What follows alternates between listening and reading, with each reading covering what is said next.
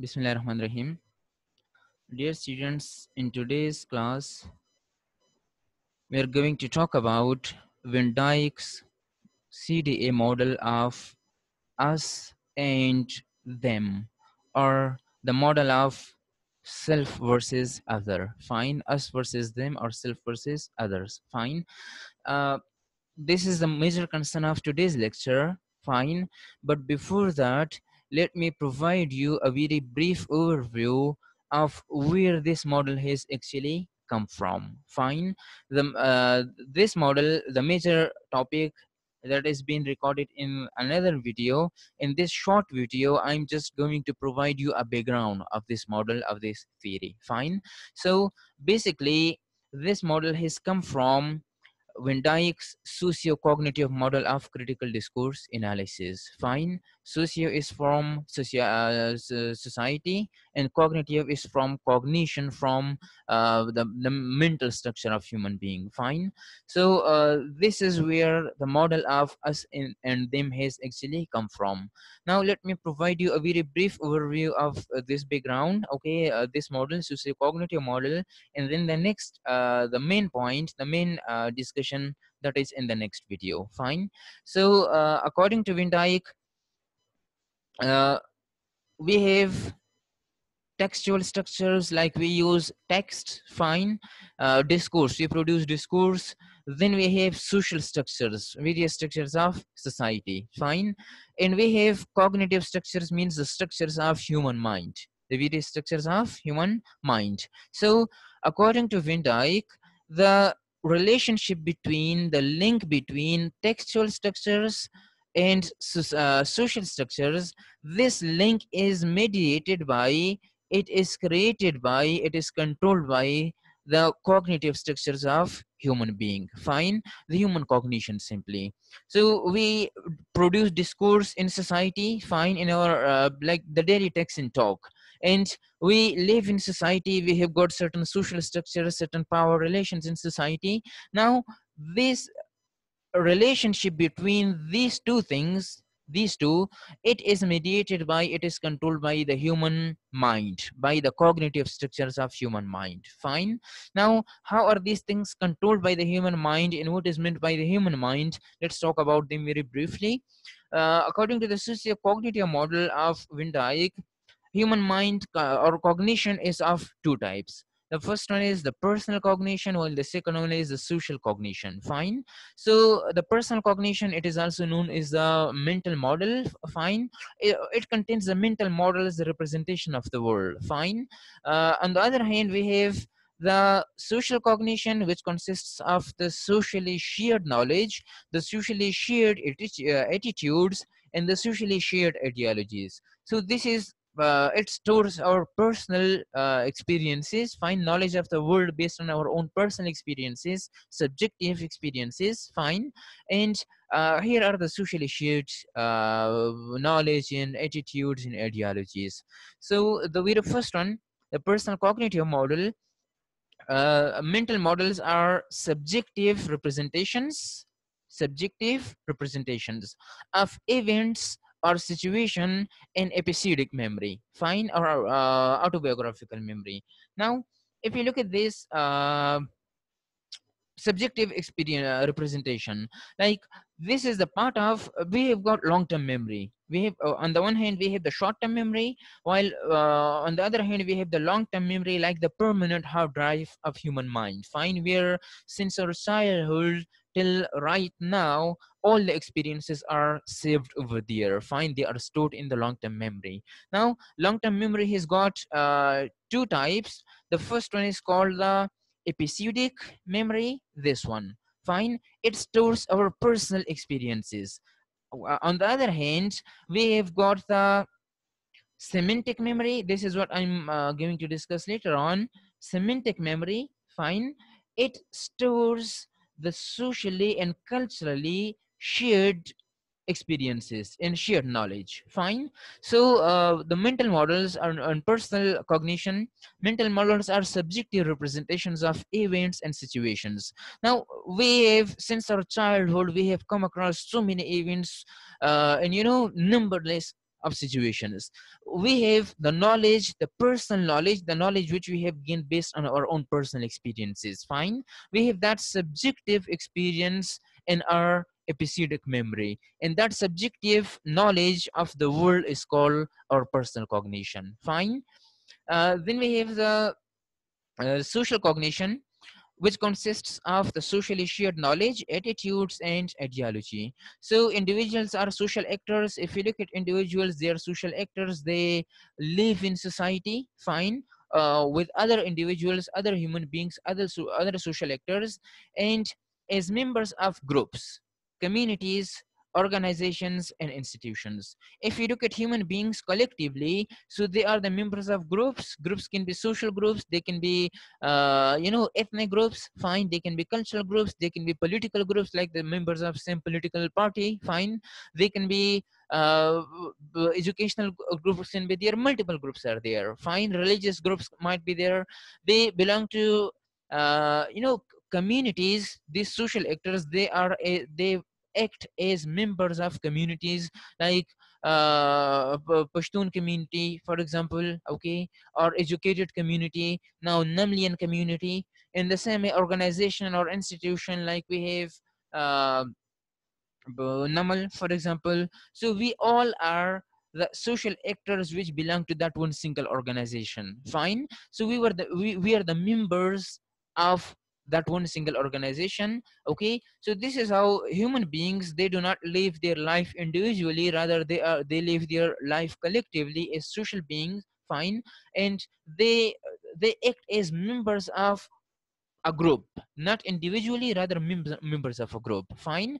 So uh, they share knowledge of language and discourse. Like for example pashtun people they share the same knowledge, the same syntactic structures of the Pashto language, the same phonological structures, the same semantic structures, the same discourse structures, fine, the same uh, like uh, modal verbs. Okay, all of you know that uh, which so what sort of language is formal, which sort of what sort of language is informal. So we share this knowledge of uh, discourse and language. Okay, then we have the socio-cultural knowledge of the world. Fine, socio-cultural knowledge of the world uh, means uh, like the entire knowledge of the world okay? The entire uh, knowledge of the society of the culture our social norms and values fine? Our customs and traditions our really uh, our rituals our practices all these are our socio socio-cultural knowledge of the world. Then we have our attitudes social attitudes social ideologies social norms and values. Fine? Like attitudes of a group. For example one single group. So they have got the same social attitude. They have got the same social ideology the same social norms and the same social uh, values. Fine? Uh, moving further if you look at social actors they may also act and communicate as members of social movement and ideological groups. Fine? Like uh, social actors human beings who live in society collectively they may act and communicate fine as members of social movement or ideological group. For example if you look at the gender inequalities. For example feminists feminist or feminism. Feminism is a social movement okay? It is uh, the, the all the people who are feminists they co combinedly constitute they constitute an ideological group. Fine? In the same way racism those people who are anti-racist they or they belong to the social movement of uh, anti-racism and they share, share the same like they're the same ideological group. Same as the case with col colonialism anti post-colonialism imperialism abortion poverty terrorism fine poverty for example the marxist uh, marxist social movement okay or the socialist social movement. So people human beings uh, in, living in society they belong to certain ideological groups in certain social movements, even political parties, ideological groups, for example, all the members of PTI, they belong to one single ideological group, okay, or any other political party, fine. So they act and communicate as members of such ideological groups and as members of such social movements fine when they uh, do so like when when when they are the part of such ideological groups so over there they act and communicate as members of that group in that movement. Now, what do they do resultantly? They share attitudes about fundamental social issues, okay? They share attitudes about fundamental social issues means, for example, look at all the Marxists, for example, okay, or the all the socialist community, uh, all the communists, for example, they share the same attitude towards the uh, fundamental social issue that is poverty. Fine same is the case with terrorism people who are against terrorism okay? Gender inequality look at all feminists they share their attitude against the very same fundamental issue that is called uh, gender inequality. Same is the case with racism and anti-racism imperialism colonialism for example look at the uh, mm, uh, people who are against colonialism and imperialism such as edward said fine homi bhabha uh, Michel Foucault, fine. All these people are against such. Uh, now it, it is even uh, Noam Chomsky as well, fine, who has written certain books against the uh, Western, the American hegemony. Fine, one of the book I think I have suggested to you as well. Uh, who rules the world? That is his book. Fine. Another book, for example, um, hegemony of the survival uh, America's quest for dominance. He's writing such sort of book uh, books nowadays. Fine. So uh, like these people, uh, they uh, people who belong to uh, these social movements, imperialism or colonialism. Nowadays we have imperialism in vogue because colonialism, the era of colonization is over. Fine. So they belong to this same era, and they all those people like Homi Bhabha, Michel Michel Foucault, okay, Derrida even. Edward Said, uh, this Noam Chomsky, all of them share the same attitude towards the fundamental social issue, social problem that is imperialism. Okay, so this is how people act and communicate as members of uh, an ideological group or social movement. Now, when they, uh, those social attitudes and those ideologies such as socialism, feminism, neoliberalism, racism, fine, etc., uh, these these kind of ideologies and attitudes they lead to polarization of people polarization of ideas okay? Particularly polarization of people. Polarization means a categorical division. Fine. A categorical division classification into two groups. Okay? So such kind of attitudes lead to polarization between us and them okay? Or uh, polarization between uh, self and others okay? Now what is meant by us and what is meant by other and how do these attitudes lead to these th these things? For example if someone belongs to the or a group of people uh, for example uh, femini- uh, feminists or for example uh, socialists or communists. Now communists have have got the very same social attitude okay? And uh, all of them are concerned with the social problem that that is poverty and uh, marginalization of the poor class people. Fine. So now they polarize the people into two groups okay? Group one let me find an empty space for uh, drawing lines. Okay. Uh fine this one for example yes. Okay.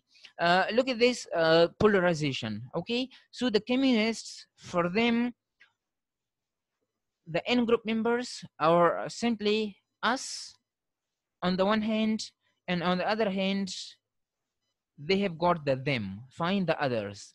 Now these us this is called the n group members n group fine. N group members while the them for the communists must be their out group members. Out out group members. Fine. Now what is meant by this us and them and group members and our group members?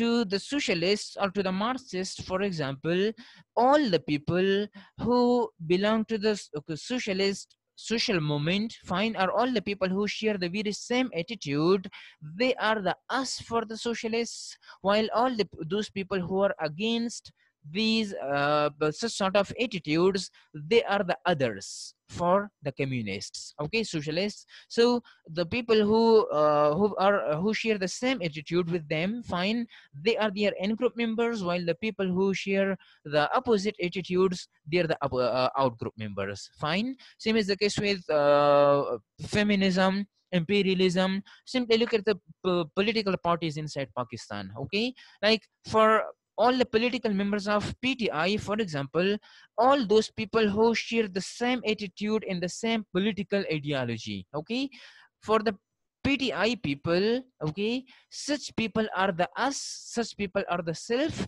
such people are the N group members. For example, if uh, Mr. A belongs to uh, PTI, so all the people who who share the very same political ideologies, the very same political attitude, they will be the n group members for Mr. A. Okay. On the other hand, if the, all the other people who share the different ideologies like ideologies uh, in favor of PMLN or PPP or other political party. So these people they are the out group members for mr a fine so this is the concept of us and them they consider themselves as us like uh, for example uh, those people I'm um, forgetting the names of the members of PTI, the political party. Okay, uh, Firdous Ashiq Awan, uh, Chaudhry Fawad, for example, for them, all the members of PTI are the us. They are the self, okay? And all the members of PMLN uh, PPP, they are the others for them, the outgroup members. So during their text and talk, they, during their discourses, they will be supporting their in-group in-group members while they will be resisting and opposing the ideas and talks and discourses of the out-group members the members of uh, uh, the uh, you know the other political parties. Now let me uh, give you another idea that how do we decide our uh, in-group and out-group members that who we belong to and who we don't belong to. We ask certain questions from ourselves okay? Question number four for example who we are who we are and who we are not. Who we are not. Fine? The, the negative of the same question as well. So who we are for example we are feminists. So all the people who are feminists are our in-group members. For example, we are the members of PTI, so all the supporters of PTI are, are our in-group members. Now, all those people who are not feminists I'm just giving examples. Fine, we are not feminists. We are not members of. We are uh, apolitical people. So uh, all the people who are not feminists, fine. They are our outgroup members. All the people who are not, who do not belong to PTI, they are our outgroup members. Okay. Then what we do, or what we practice, what we practice, what we don't do, and what we don't practice. So what we do, we support uh, Imran Khan, for example. So all the people who do the same thing, they are our in-group members. They are the us for us. They are the self for us. Okay, and all the people who do not support Imran Khan, they are the out-group members politically. They are the others for us. They are the them for us. Fine. Now.